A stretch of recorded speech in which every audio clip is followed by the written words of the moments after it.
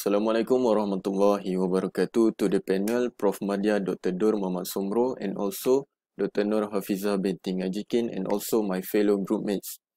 My name is Muhammad Hakimi bin Muhammad Murad. My metric number is AE180065 and today I'm going to present about my final year project 1 which is simulation of frequency response due to faulty stator winding. So For the project background for my final year project is I'm going to simulate the faulty stator winding which is located in induction motor. So basically induction motor has many body has many important body parts which is rotor, stator, armature, commutator and brusher. Stator windings can also be introduced as a winding that were, they were installed on the stator made of copper wire. Lastly, the stator's primary role is to generate a rotating magnetic field, whereas the rotor primary role is to generate output current by cutting magnetic wire in a rotating magnetic field. So, for the problem statement is causes of the stator winding fault are basically due to mechanical stress, due to movement of stator coil and rotor striking the stator. There were also thermal stress due to thermal overloading, which also the primary cause among the likely explanation. And lastly, the enviro environmental stress, which is too hot, too cold, or too humid. So what I'm going to achieve for my final year project, as my objective is I'm going to simulate the normal and faulty stator winding using RLC circuit. The study continued to compare between simulated measured frequency response for faulty stator winding for verification of RLC circuit accuracy. Lastly, it need to be analyzed the comparison between frequency response of normal and faulty stator winding using statistical indicator. So the scope of project contains of simulation of low voltage three-phase induction motor, simulation of frequency response between 20 Hz to 2 MHz, stator winding from 3 horsepower of 3-phase induction motor simulated of RLC circuit by using MATLAB software. So basically the type of fault that need to be considered in this simulation is phase turn to turn fault, phase to phase turn fault, phase turn to ground fault and also phase coil to ground fault. And the statistical which will be used in this project are correlation coefficient, absolute sum of logarithmic error and root mean square error.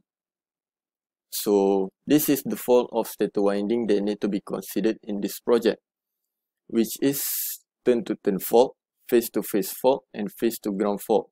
Notice that turn to turn fault is occurred between turn to turn of the stator. Phase to phase fault is occurred between to phase of the stator, and phase to ground fault is occurred between phase and ground. So Frequency response analysis is one of the condition monitoring tools currently being developed for power transformer, generator, and induction motor. It also known for technique that allows in detecting small strains which may appear in the windings due to the effect of short circuits during transportation.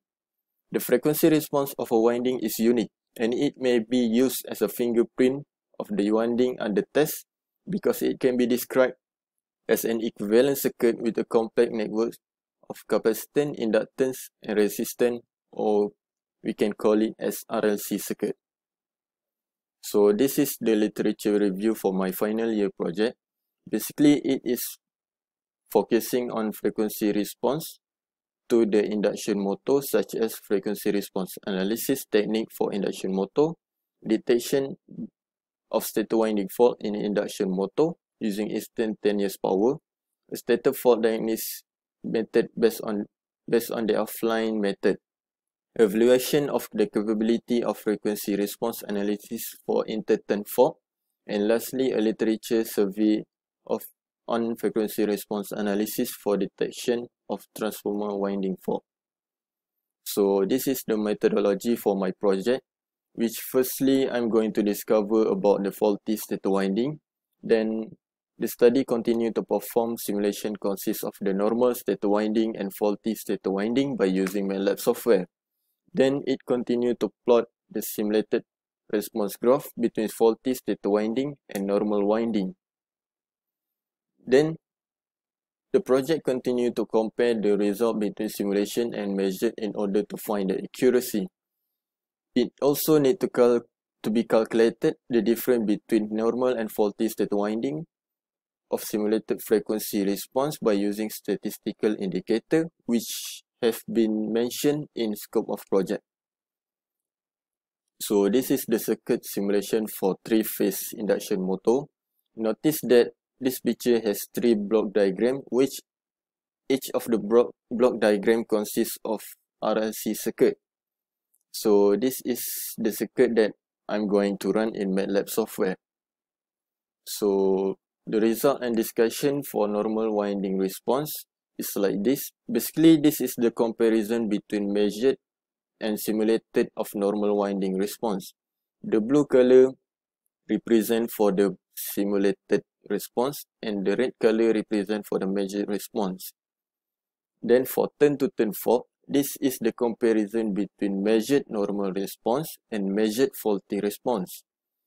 And this is the comparison between simulated of normal response and also simulated of faulty response. Notice that it has the slight difference at 10 power of 5 Hz.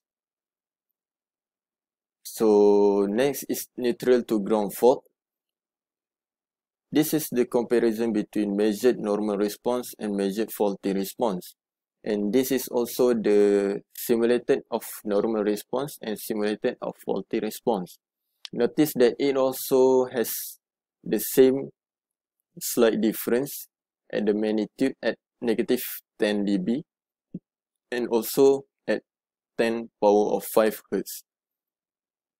So next for turn to ground fault, this is the measured of normal response and measured of faulty response.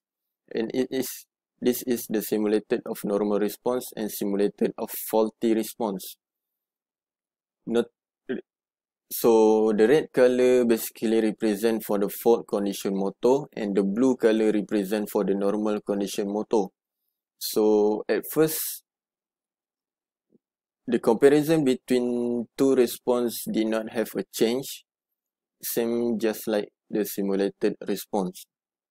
So lastly for coil to ground fault, this is the measured normal response and measured faulty response and this is the simulated of normal response and simulated of faulty response. So it also has a slight difference at here. So basically that is my result and discussion for my objective 1 for my final year project 1. So that's all from me. Thank you.